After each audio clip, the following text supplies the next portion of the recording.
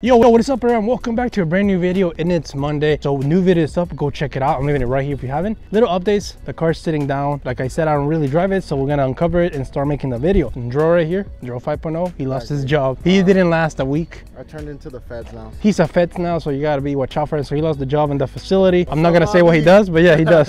and he's he's pulling up with the Whipple. Oh yeah, no, no, big single turbo. Big single turbo. So yeah guys, let's get started by uncovering the car and start driving to a location that we're gonna do this video. We're gonna be filming BMW mids. BMWs break down. How much are they? Are they that expensive? Are they that bad? How much is to modify? I'm gonna find out in this video. And can you afford it? There you go guys. We'll see you in a little bit. All right everyone, we're, we have the car uncovered. We have to fill up the wheels to go start it. So like I said, in this video, we're gonna be busting or debunking BMW mids that a lot of people have misconceptions about BMW or European cars in general. In my case, I have a BMW, so I'm gonna be debunking my BMW myths that I have for my car that a lot of people think about. Common misconceptions that people have. I own a couple exotic Germany cars.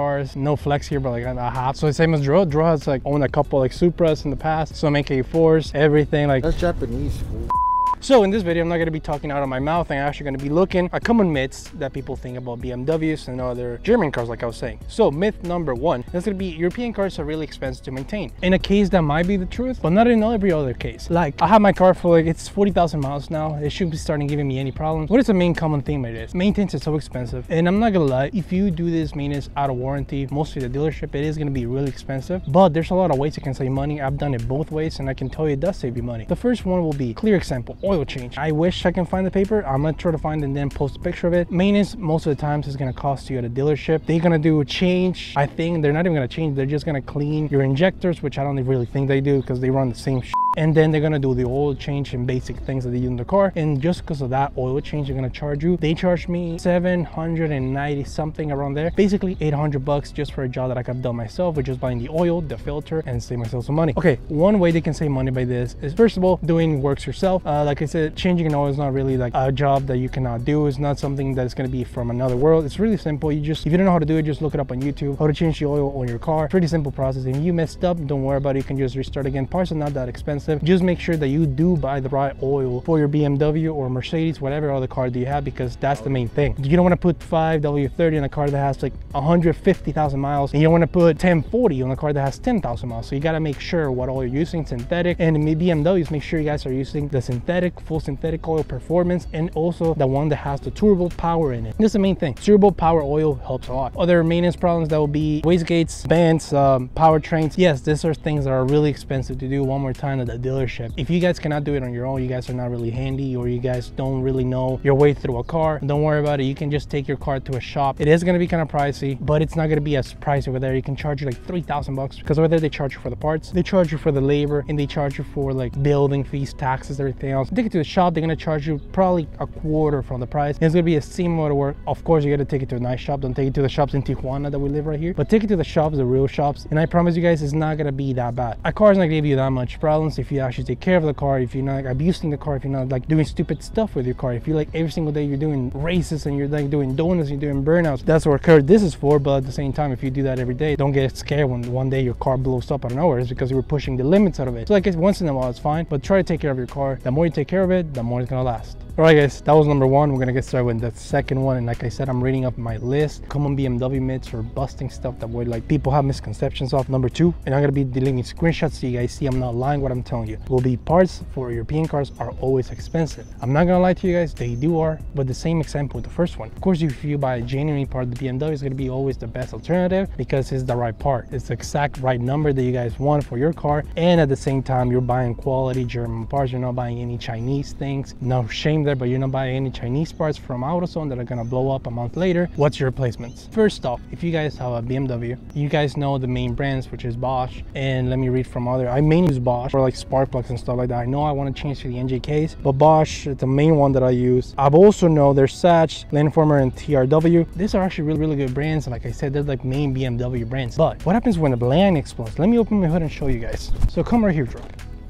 So in this car, most of the parts are Bosch because I like to buy the OEM brands, but most of my car hasn't exploded yet, so I haven't to worry about that. But lines like this, bands, parts on the engine, little plugs like this, which are the sensors, you can do throttle body parts, cables. What is the thing about all these parts, guys? Let me tell you, there's actually a way that you can save money by buying really good parts at the same time saving yourself for some money, which parts are gonna be actually reliable. And they're actually like OEM. I'm not saying BMW brands. If you guys, I'm not getting paid, like Burger Motorsports, FCP Euro, they actually sell parts that are called OEM or OE, and they actually have perfect fittings for your car, and they're actually half the price. For example, the only thing I had to replace my BMW so far was this line, which I'm leaving the video right here, which is the line that connects from the coolant to the radiator hose right here. And that video is actually doing pretty good. It was really informative, so thank you guys for supporting that video. I was actually gonna buy the FCP Euro brand because it's an OEM fitment, it's OEM quality, it's made in Germany. The only difference is it's not a BMW brand, so but according to a lot of people, that brand's perfectly fine. It works the same. The only brand that I had was gonna come in weeks and I didn't want to wait. And the express shipping was 20 bucks actually for like overnight. I didn't feel like paying it. The part itself was 12 bucks and I paid 80 bucks for that part. I feel like I got robbed, but at the same time I need it because of necessity because if not, my car was not gonna move for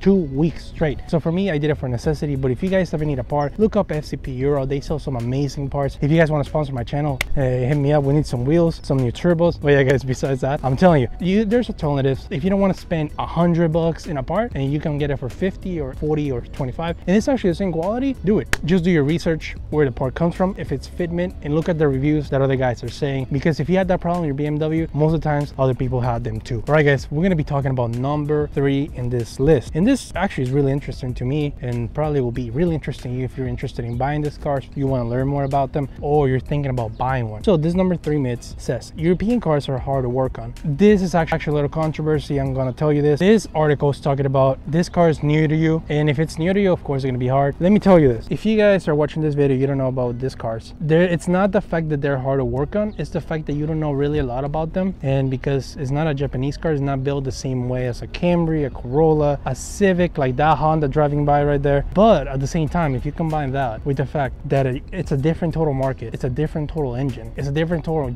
country of manufacturer. You can tell the same thing about a muscle car. You can take the same thing about a pony car. You can do the same thing about basically any other car. Drew, my friend right here, he had a Mustang GT. He will tell you the same thing. Before that, he actually he drove a Turbo Civic. I'm gonna leave a picture right here. It was a Turbo Civic all-wheel drive system, single turbo, and he had a Mickey Thompson and all this, all everything. I'm telling you, that thing was doing a 1,010 horsepower. Anyways, guys, what I'm trying to explain is this when you guys buy a car like this, you guys need to be familiarized with all this. That's what the article was explaining. So you guys want to learn about this cars, you guys are interested in buying it, what are you guys gonna do? You gotta learn. You gotta watch videos. You gotta talk to different people. You guys gotta get familiarized with all this. Of course, I cannot open a freaking Ferrari and be like, yep, yeah, that broke. Yep, yeah, that broke yeah, this is this. No, I need, if, if, I open a Ferrari right now, of course, I'm not gonna know what it is. I don't know if it's a flat engine. I don't know if, I, I know what it is, but I don't know if it's a flat engine, V engine, or an inline engine, you know? It, there's no way to tell until you do some research and you learn stuff about your car. The birds are singing for us right now. They're singing for Joe because they think he looks cute. Either way, guys, like I was saying, of course, when you buy a new car, you're not gonna know what to do with it. You guys are not gonna know what to work on. The best thing that you guys can do is get familiarized with all this and learn the basic things. Where's your oil filter at? Like for me, I did have no idea. It was right here until I got my car. I had that was new to me. I I had Japanese cars. Like I said, I, had a line of exotic cars, not flex or anything, but I had the Lambo Aventador SVJ. I also had the Bugatti uh, Chiron. I traded it in for a Camry, and I also had the Koenigsegg Agera. Really cool car. Really cool car. I guess I'm capping with that. I'm capping. But either way, I'm telling you, of course you're not gonna know. What are you guys gonna do? You're gonna learn. When I got my first F30, which was this one, I, I didn't know anything. I did most of stuff myself. I modified myself. I changed a couple things. I do my maintenance. Uh, me and my dad were like work on it. If I cannot do it, my dad's an actual mechanic He's an electrical engineer mechanic. And if I don't know how to do it, he'll help me out. But if he doesn't know either, we'll just find a way to do it. And that's the way you guys have to do it. Bring your friend if you don't know how to do it. And I know if you guys both know, two monkeys make one big monkey.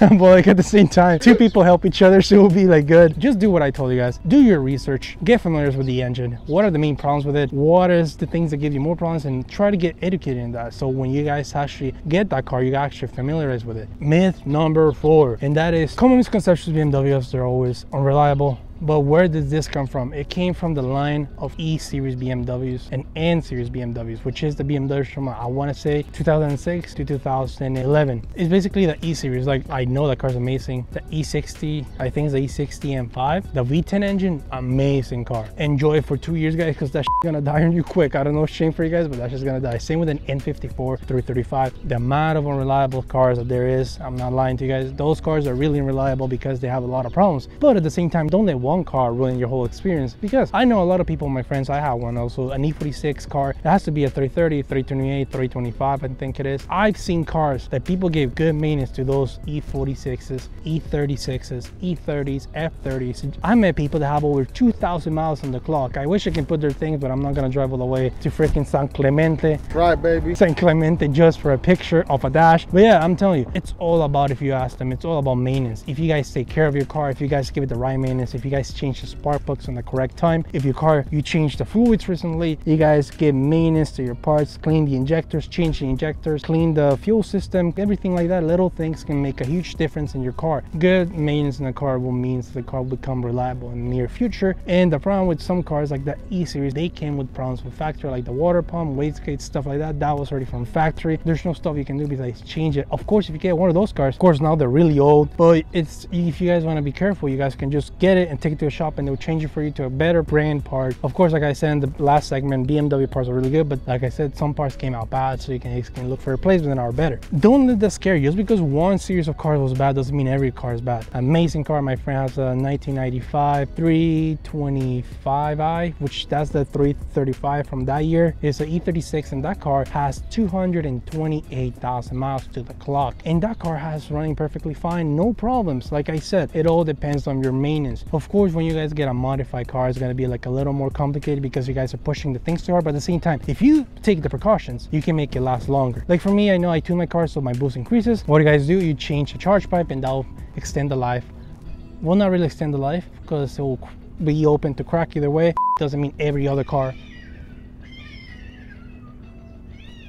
Alright guys, so in conclusion with all those myths, are they true? Are they not? Is it unreliable? Is it really expensive? My conclusion to that is depends on the owner and what type of car you get. For F30s I've heard, I mean this car has been out since 2012. For the most part, the F30s are really reliable. E-Series are really reliable. And when I say E-Series, I mean E30, 36, 46. I'm not saying the V10, E60 BMWs, no. Stay away from those. You don't want a V10 on a BMW. That's a stupid decision you can ever make in your life. But to conclusion with all this, it all depends on the owner and the car you get. Of course, like I always say, the better parts you get, the more reliable it's gonna be. If you give good maintenance to your car, it's gonna work perfectly fine. But like I said, guys, be careful with the things you do. Watch out for like future problems. If you know this, I, I know it's not. I know, okay, don't say stupid shit. I know this is not a part, but let's say if I know this is gonna give me a problem in the future and it's starting to crack up, get it before it's too late. And before it's too late, what I mean is like, if this gives you a problem, that means the whole car is gonna start giving you little problems whatsoever. So by replacing parts that are gonna break in the future, you can save your car's lifespan by adding more years to your car. And it's gonna be more enjoyable for you